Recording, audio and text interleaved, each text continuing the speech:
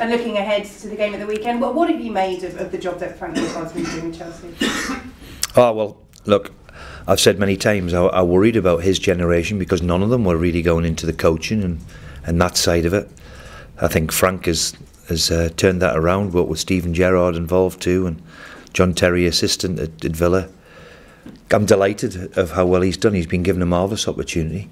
He's gone and stamped his authority on straight away and played a more open, if you like, introduced the young players, whether that was because he had to or whatever. You only have to ask Frank. But I'm a big admirer of Frank. He's a great lad, and um, he's doing very, very well. Can't be easy, you know, after just a year of management to manage Chelsea, but he's doing extremely well. And make no mistake, as always, Chelsea have got some excellent, excellent players. So we'll have to be at our best.